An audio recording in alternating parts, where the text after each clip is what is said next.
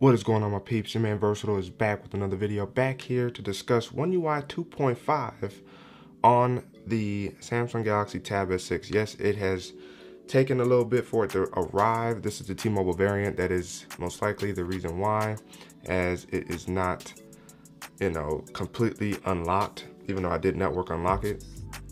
So we finally got the update here. So before we get into the video, if you guys haven't already, make sure you guys ignite the like button, subscribe to the channel, and hit that notification bell so that way you never miss my videos. That way we can sit back and chillax and see what's cracking. Now let's get into the new features, updates, all that fun stuff with One UI 2.5. Now, surprisingly, it was about 2. Point, no, oh my goodness, 1.7 gigs in size. Now, my tablet, I believe, or all Samsung Galaxy Tab S6 tablets that are running uh, T-Mobile software, was on One UI 2.0, not even One UI 2.1. So I believe that's the reason why it was so massive, is that it combined One UI 2.1 with 2.5 and dropped it on here uh, as well as the Samsung or the September security patch. So one of the first things we can do is if we come in here, we'll be able to see easily you know, um, da, da, da, We hit the about tablet, go to software information. You guys see that right there. One UI 2.5 and the security patch. If you go into biometrics and security, as you guys can see there, September. I don't know why they didn't update with October or even November. Now my Z Flip and my Galaxy S20 that are also on T-Mobile software likewise have not received November. They're both running October. So a little bit slow this time around, maybe still because of COVID. So let's get into some of the new features. One of the things that Google has implemented that Samsung likewise pushed, you know, server side wise was nearby share. And that's the ability to basically share with any Android device, kind of sort of similar to Apple's uh, AirDrop. And so before One UI 2.5, there was a good length of time, I want to say 15 seconds at most, maybe even 10 seconds, where once you hit nearby share on here, so if we go in here, let's go into the gallery, let's find a picture that I want to share. So here's the update information. If we really wanted to get into what was all new that we'll go over, let's say I want to share this with my Z Flip, right? Now both devices kind of have to have to be on for it to find each other. So if we tap here, we tap share. Now you see nearby, what? All right, tap share. Now you see nearby share is right there. If I click it, it's gonna find it. Now it will find it relatively fast. And as you see and heard on my phone, it's like, oh, device is you know, being scanned. Now it's taking forever even here. So this is actually interesting. So now One UI 2.5 may have, if not broke, may have uh, lagged nearby share. Now let's see if I can speed it up by actually doing this and then I click this to become visible. Let's see if that changes anything as you guys can see there. All right, so now it's visible. Now it connects a whole lot faster. So, and then from there you can, on this phone, you can pick, you know, whatever app you want to do to open it. Now, let's say we want to do that again. Hit nearby share. Let's see if it will take so now it has somewhat changed its priorities, I guess. So let's see if we go into here. Okay, all content. All right, boom, boom, boom. So, oh, okay, so now everything pops up. My other phone, the, the S20 also pops up. Now they pop up. So I guess because I hadn't, you know, since the restart, I hadn't actually checked it out or anything. That's probably why it took so long to actually activate on here. But that's one of the features that you will now be able to appreciate. You can send files, you can send video files through nearby share from one device to the other device. Samsung's previous ability to quick share was called quick share basically, and that was only via Samsung devices. Nearby share works with all Android devices. So if we want to look in here real quick as to what we get, y'all see me right there. Hey, how y'all doing? Uh, wireless Samsung DeX is now supported on here. Wi-Fi, uh, in terms of scanning it and all that type of stuff. And now it lets you know how fast or slow the Wi-Fi you're connected to is. It also, you know, while attempting to access Wi-Fi router, you can request a password. And then in terms of multi-window, the screen can now be split into three sections. So now we can have like a calculator, YouTube, and like Google Google Keep Notes or something like that. We'll actually show you guys how to do that. And the Edge panel has now been added to the multi-view window app tray, as well as the augmented reality zone. So, and I don't think we really care too much about that. And then of course security. So we're gonna get into some of these things. Ooh, all right, let's back out of there. But if we want to, we can actually do this. Let's say we want to have the gallery open. So we'll do split screen there, and then we'll do. Let's see. Oh, you can't hold this. So if I do calendar or calculator, you see that, and then if I do something like that, uh oh, I guess it didn't work. Oh, you already created this app pair. Oh, my bad. I did not want to create that app pair. Um, and you can also switch the orientation of said, you know, devices. And then, okay, maybe I have to. All right, let's see if I grab this. No. All right, this is what I'm gonna do. Gonna quick press back, and then I'm gonna swipe from over here. It created this dumb app pair. I don't know why. I hate that. And let's say we want mm, Samsung Galaxy. Let's see, we want this in here. Boom. So now you can have three separate apps open with no problems. Now I've never opened Samsung apps on here or the Samsung Notes on here before. But as you see here, boom, just like that. Three separate apps open. And then all you gotta do is swipe home and it's all gone. So that's what's up. I, I find that to be really cool. I like that. I'm sure there's use cases for it, especially if you're using this to actually work. You can have YouTube, a window playing a video in one area, you know, and then you have your the internet up, maybe you have your Word document up, you know, all that fun jazz. You have now accessible via One UI 2.5 on the Galaxy Tab S6. Another thing that's readily noticeable, if you haven't noticed here, is the icons are a lot smaller. The folders are a lot smaller in terms of that holds your apps. Now, I think you can change this by simply just changing your screen zoom settings. The problem for me is when you do that, so if we go the display, when you do that, like the word, like everything else kind of gets unnecessarily bigger as well. So now if we come back out, it, it seems just like a, just a tad bit too big because I'm not blind. Now the apps are back to normal size. So I actually might leave it here just because of that, because I do like larger size apps to kind of take up a little bit more space. So that's what you're able to have there. As I mentioned before, the Edge panel, when you swipe into the side, this is the app window tray where you can do multi apps. So let's say we want to bring up YouTube, and you want to swipe, and you want to bring in Chrome. All right. So I think what you have to do is actually hold then you can drag it. And you can do pop-up view or you can do drag to open to the side there and then boom. Now you got YouTube open on one side and if you want to, you can actually swap sides, I guess. Yeah, you can swap sides. Boom, just like that. See how snappy and responsive that is? It's really nice. And that's an app pair you could actually make if you want to as well. Now that actually might be something I'll do. So now the other thing that you can do with this is, for me, you can have clipboard. You can have your reminders. You can also have the weather widget right here. Pull down to refresh it and you are good to go. Now, how do you change all that? Well, you can either hit the settings button right here and settings will pop up on the side here, which is kind of nice. So you won't actually leave the entire area if you're already in split view. And then you can actually arrange and choose what other edge panels you want on your device. So that's actually pretty nice. And then you can also change the transparency by going up here, clicking on handle settings. And in here, as you guys can see, you can choose what side you want it to be on. And you can also change the color and the transparency. So I have mine set, selected to black transparency on uh, 100, so you ain't seeing it at all. And then you can change the size of the slider. So that's also really nice. And it's gonna be on either side, depending on what side you actually selected.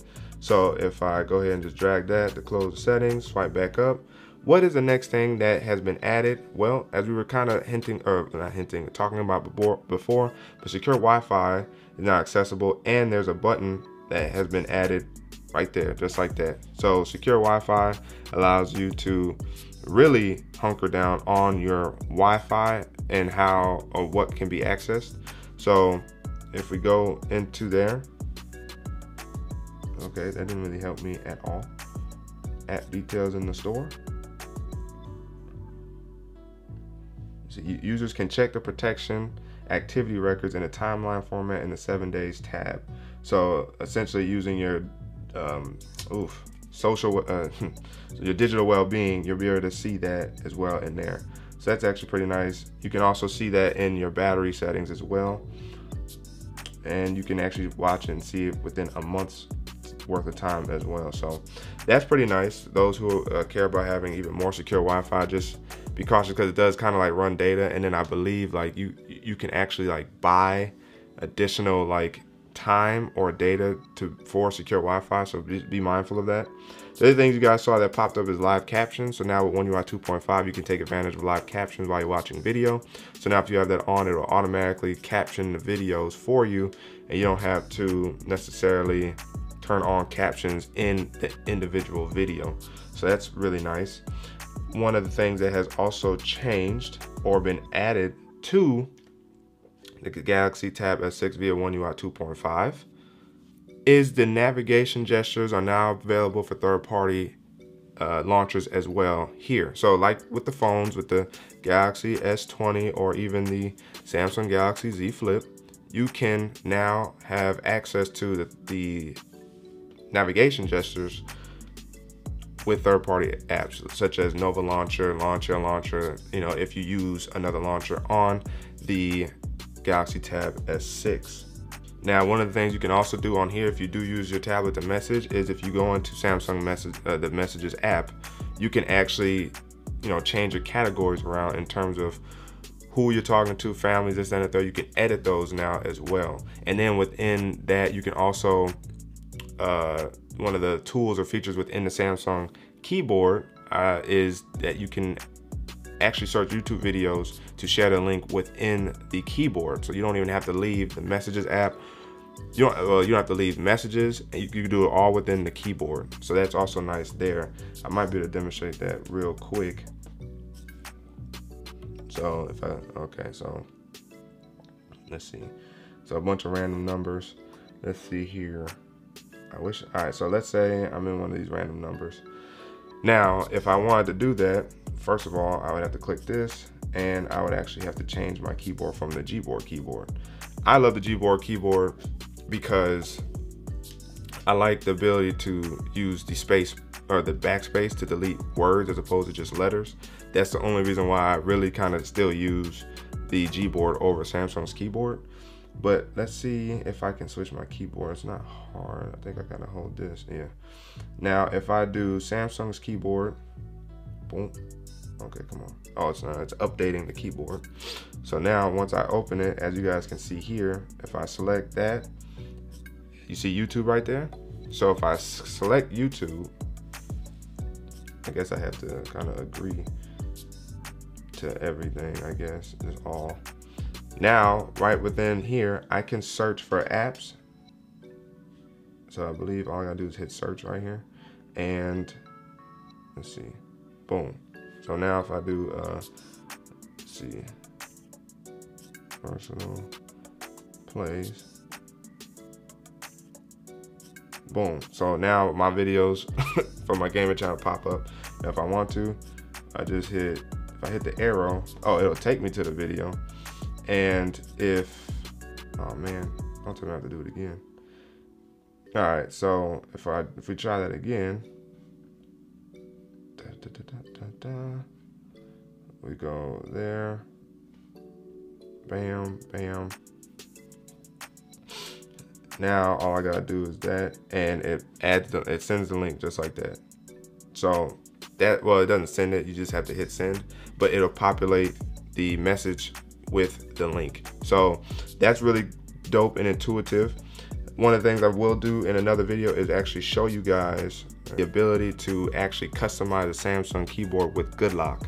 GoodLock now allows you to customize the S Pen usage on here with Pentastic, and then it also allows you to customize the color and even some of the functionality with the Samsung keyboard via the theme park module within GoodLock.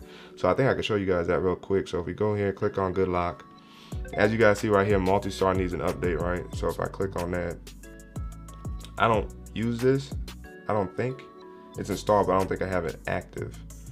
Um, click on it. Let's see.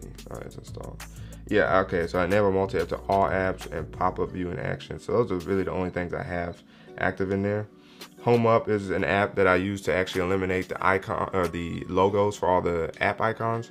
So that's another app that maybe I could show you within that GoodLock update. And then if we, I may have to download. All right, so Pentastic is what I was talking about. And then Wonderland, you can create your own moving wallpapers. I guess I have to download the theme park on here in order to get that accessible. So there's that. Let's see if we go in here and let's see if we look up theme park real quick. Well, now the Galaxy Stars needs an update. Alright, so let's see if it'll let me back in.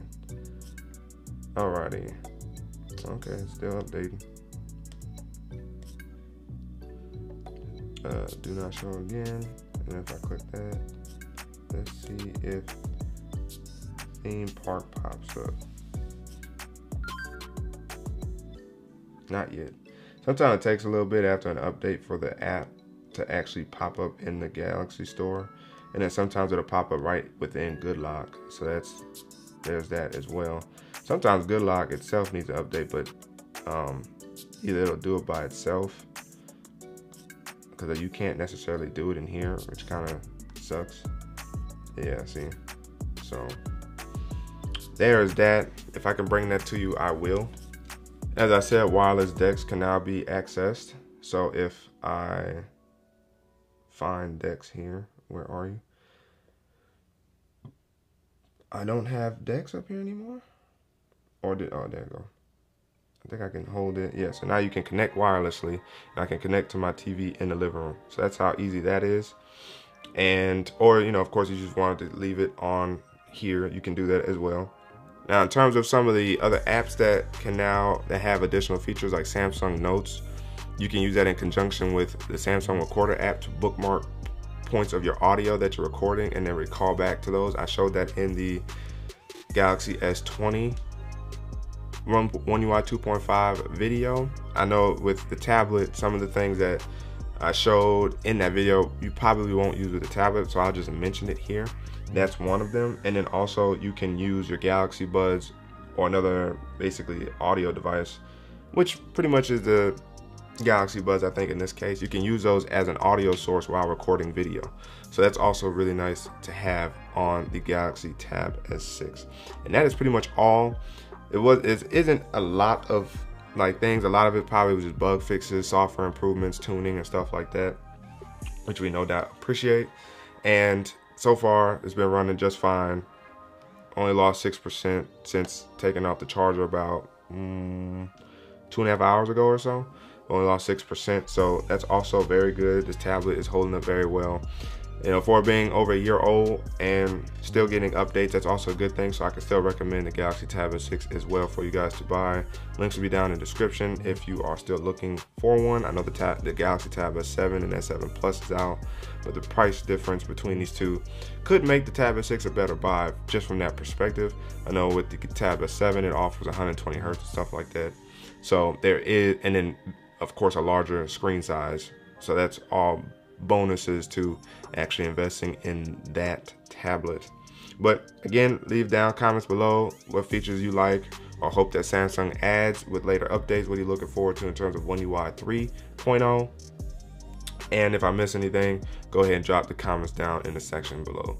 But if you guys haven't already, ignite the like button, subscribe to the channel, hit that notification bell so that way you never miss my videos so we can sit back, chillax, and see what's cracking. But your man Versatile signing out. Until the next video, wait for it.